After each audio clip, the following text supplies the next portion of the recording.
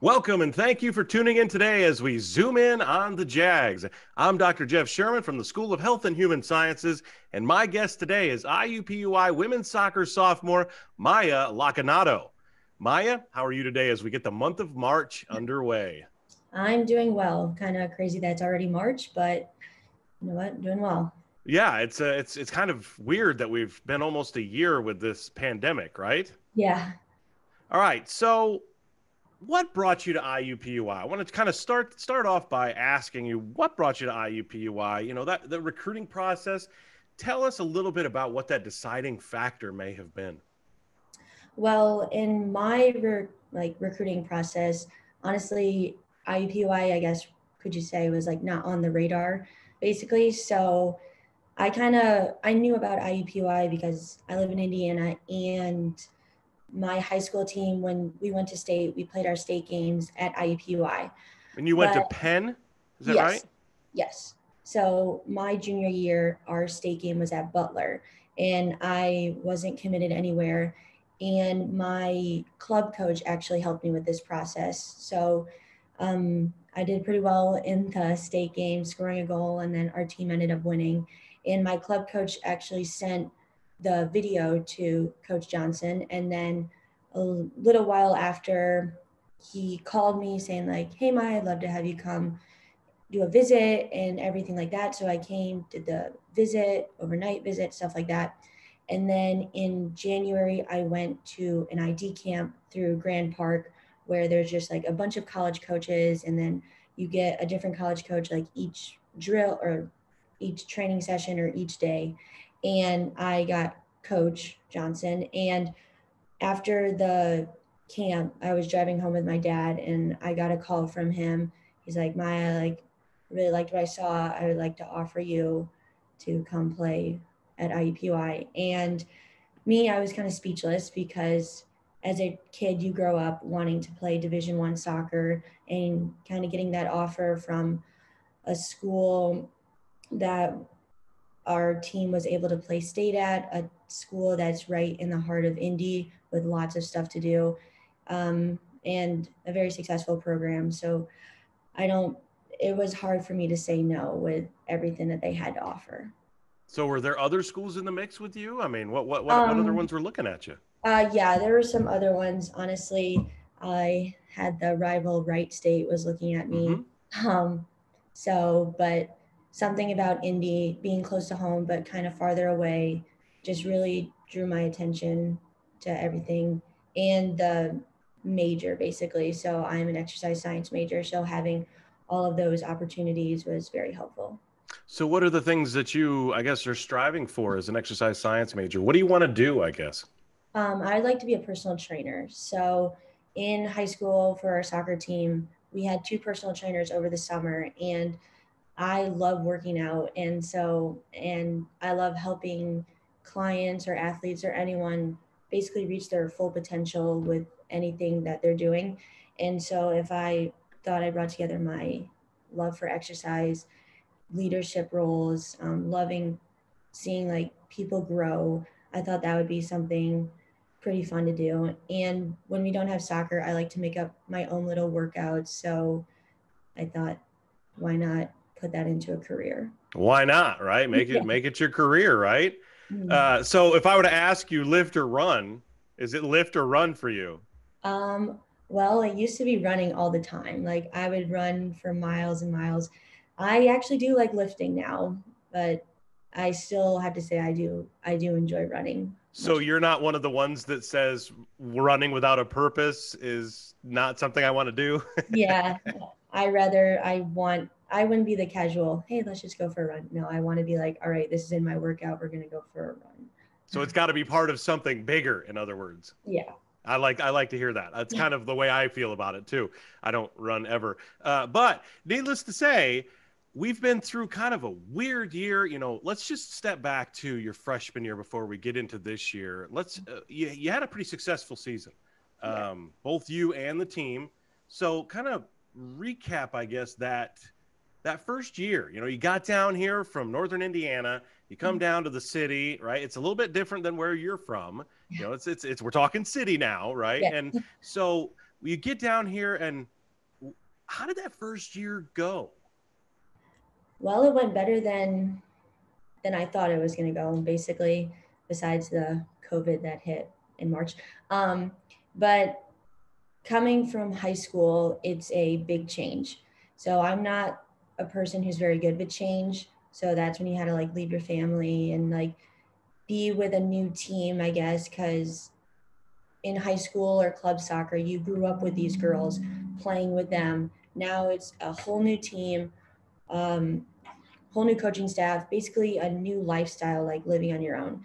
And I kind of find myself independent. Like I like the things, I like to do things the way I want to do them. So kind of living on my own, I guess. I enjoyed that, though I did miss my family. For the soccer aspect of it, it was a big uh, head turn, I guess you can say. The girls are faster, they're stronger, they're bigger. You could probably you could be the best girl on your high school team or your club team, and then you come into Division One soccer, and it's a whole equal playing field now.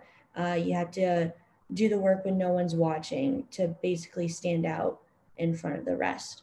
So I think that was a big wake up call. But overall, I really enjoyed it. And it was just, it was a lot of fun. So we fast forward, right? We go through Christmas break, you get back on campus, you're getting ready to do the spring season, and then all hell breaks loose. Talk yeah. about what, you know, what happened with you. You know, how did you respond to all of that when this first all came down a year ago? Well, honestly, we didn't know it was gonna. It started on the other side of the world. We didn't know it was gonna come here, so we were just kind of living life. And then it comes here, and we're all just kind of like in our rooms. And then you get the phone call. Oh, like everyone has to be sent home. And I'm like call my parents, hey, can you come get me? Like being sent home and stuff. Um, but I guess it did have an impact on me again with the whole I don't really like change. I like everything to be very planned out um, writing in my like calendar this this and this. And now having a bunch of scheduled things be taken away from you is kind of like oof gotta adjust to it. Um, but i do have to say that not that i enjoyed the pandemic but it was fun to have a lot of my family time knowing that my brother plays soccer and is gone like every day for or so with practices or games. My parents doing stuff like workout classes or anything, me having practice. So being able to be home with my family, playing games, doing stupid TikTok videos, everything um, kind of brought us a lot closer and made up for a lot of that time. So even though it wasn't fun, there were some positives to it. So expand on that a little bit more. You know, you, you, got that you got that family time. You know, you're a you're a first year, you're finishing up your first year. You get booted out of your room, you're sent back home, and everything is flipped upside down on you, right? And yet you mm-hmm. get home and now you're saying that it was it was a positive back at home and you know ma- many people don't talk about that kind of kind of expand on that a little bit more about how you how did that I guess, shift your normal, right? Your new normal. You were just getting used to this new normal, you know, yeah. the college life and things like that. But now you're going back home to where you were like, and I hate to put it this way because it sounds horrible, but where you were like seven years old again, right? Yeah. I mean, you're you're home all the time with your with your parents mm-hmm. outside of school, right? So talk about how that, you know, how did that feel? Well, it was definitely weird because, like you said, I got used to the college life, like living on my own but I consider myself a very like family person. Um, like I said before, my family is very close, and us getting that time together meant more than anything. And though a lot of people are like, "Oh, I want to get back to college" and all that stuff, I was kind of like, "Well, you know what? I'm kind of enjoying this because it does make up for the lost time that my family's had because of our busy lives and everything." And I just look at like memories, whether it's like from my phone, like through pictures, and like it just makes me smile because those are the days you're just gonna look back, and though it was tough, those are the memories that you're gonna love. Whether it's like me and my brother like goofing off, doing something stupid, or like us. I remember we were on the kitchen table playing some card games, and we were laughing so hard that nothing was coming out and like all of us were just crying and those are the times that you really live for and i'm very blessed that i was able to have those opportunities wow that's awesome i had the same i had the kind of the same experience with my family i've got two young kids so you know i get it but uh, to hear it come from a, a, a person who's a first year you know, college student and they're like, yeah, my life is good and I'm I'm on my own. And then all of a sudden you have to go home and it's like, oh, mom, dad, I'm back, right? Yeah. That sort of thing. So so you, you get to you get through that and then you hit the summer and you're thinking, what are you thinking at this point as you you know you get through the first the, the first few months of this pandemic and you get into summer? What are you thinking at this point?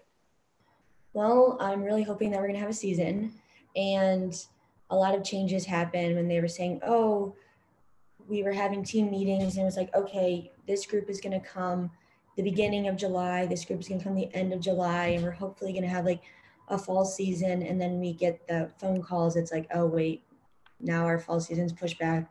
Oh, wait, now we're only to, we're not to have fall season. It's just to be in the spring. Oh, wait, we possibly could not have a spring season. So for me, it was just, it wasn't a, like a turn off or it wasn't like I wasn't to stop working basically. No matter what, I was to keep working. So when I entered when we entered the pandemic basically um I tried to find a lot of alternatives to not having like a gym or anything. So luckily I was fortunate enough to be able to lift and there was a field about 30 minutes away from me. It was a turf field, had the nets and everything. So I asked like my strength coach, hey, can you just like send me some voluntary workouts or can you like show me or like send me a website I can get some workouts from or like I would make up my own and I would do some lifting and running three times a week and then I would do soccer um, three times a week and for me I'm very I should say like self-motivated with everything so even though we didn't know when we were going to have a season or what the outcome was going to be I thought that this was a time for me to better myself, to get stronger, to get faster, get better touches on the ball, everything. And in my head, I thought, all right, Maya, well, there's probably, let's say, a Milwaukee girl out there right now who's probably going for a two mile run or something. Are you going to let her outwork you? And so I kind of had that mindset and I was like, all right, well, I'm not going to let her do that. So then that's where I busted my butt and got to work. And I think I've seen some improvements from freshman year to this year. And my family has said the same thing. And I won't stop working until I reach all of my goals or I'm satisfied. So you talked a little bit about that fluidity over the summer of we're coming, we're not going, we're going, we're not playing, we're well, we might have a season, that uncertainty. How did that, I guess, how did that come in your brain? How was that functioning when it came to arriving back on campus with classes still being, you know, relatively virtual, you know, some face to face, many online. You come back to campus and you know the environment is different. Kind of tell me a little bit about that as as we're getting ready to, you know, eh, your normal fall season, so it's a lot different now than what you have been used to. So, kind of tell me a little bit about that and, and your mindset. How was it when you arrive back and everything's so fluid? It's up, down, up, down, good news, bad news, etc. Um, definitely hard because it was tiring going to, to to team Zoom meetings, and it's like coach is like, all right, I got one positive, but I got a few negatives, and it's kind of like, great, like here we go again. Um, teams are getting positive tests or the season keeps getting pushed back or all of these things. And obviously it's out of our control. And that's one thing that I had to realize is that I can only control what I can control. So I don't have a say in, well, I think we should do this and this because it's it's ultimately not my decision. So I really had to just take one day at a time. Um, I'm not like that. Like I said, want my everything planned out. But if I thought too far ahead, it would really stress me out. So I had to be like, all right, let's make a list for today. So this morning we're going to wake up, we're going to practice. Um, then we're going to do some homework and just leave it at that. And I knew looking back from freshman year when everything got like kind of taken away, I realized that you can't take anything for granted. So at practices and weights, I would make sure to be energetic, fun, happy, and not let the little things get to me, even though they would, because the next day it could be taken away from me. And I want to make sure I end that period like on a high note and be happy and not have any regrets for anything. So, really taking it one day at a time and not taking anything for granted, especially like with classes, just use as many resources as possible if I was online or in person, anything like that. Now, you, uh, I'm part of the SHHS. You're part of SHHS. You got to tell me, are you enjoying the major? Are you enjoying what you're doing? What kind of classes you taking? That sort of thing. I really enjoy it. I think one of my favorite classes was anatomy. Um, I just like the body and how everything works. It's it's kind of cool to see how like your muscles work and everything going with that, and how it's such a broad thing that you can do so many like jobs with it and everything. That's awesome. So, okay, now we're gonna we're we're heading into a positive here, Maya. I promise you, I'm not gonna I'm not gonna hold on to this pandemic forever. So we're in the spring season. I guess you could call it the spring season, but it'll be your regular season. We, we're into it, and you are so far as a team two for four. And when I say two for four, you've played two and you've lost two. I'm not saying lost as in win loss. I'm saying canceled. Right?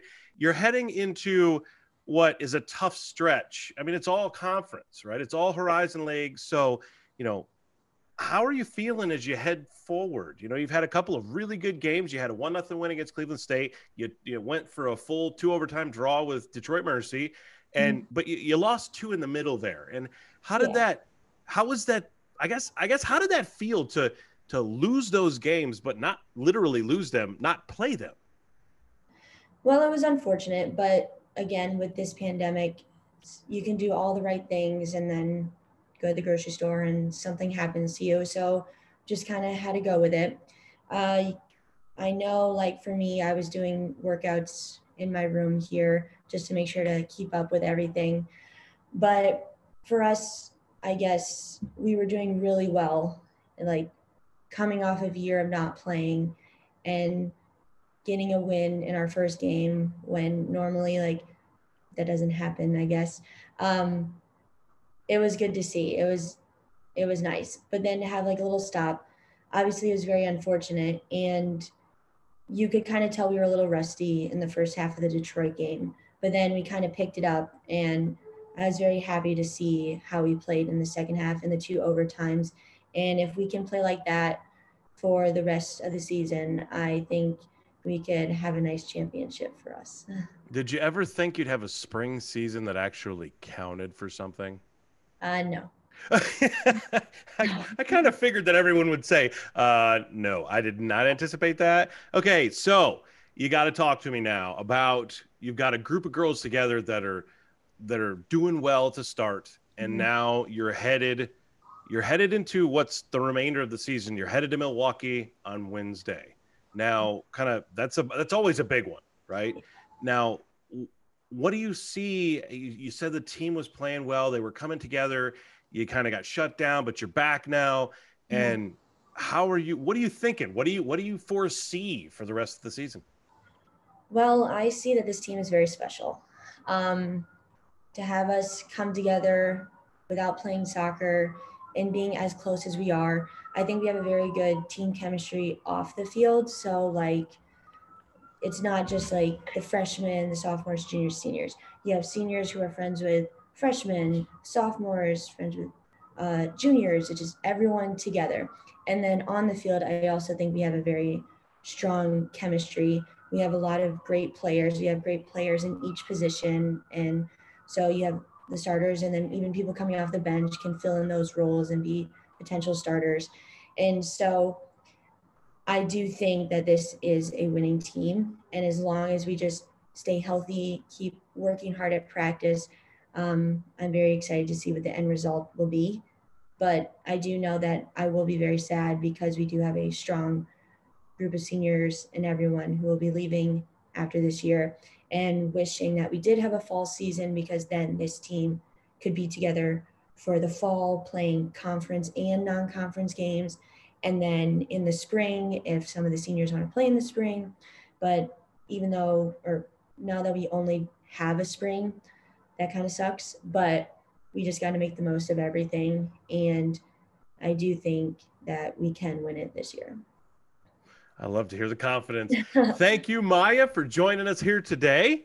Be sure to follow IUPUI Women's Soccer at IUPUI WSOC and the Sports Management Club at IUPUI at SMC underscore IUPUI on Instagram for the latest episodes. Thank you again, Maya, for joining me today. Have a great rest of your day.